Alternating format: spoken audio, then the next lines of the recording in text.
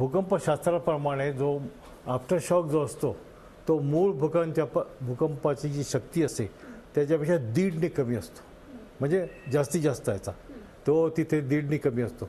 तर सात दशांश नऊचा दीड म्हणजे सहा पॉईंट सहाच्या आस सहा पॉईंट चारच्या आसपास यायला पाहिजे होता. पण हा वेगळा आहे. मूळ जो भूकंपाचा केंद्रबिंदू आहे तिथपासून हा जवळ त्र्याऐंशी किलोमीटर दूर आहे. त्यामुळे ह्याला आफ्टरशॉक म्हणणं योग्य होणार नाही. झी चोवीस तास. रहा एक पाऊल पुढे.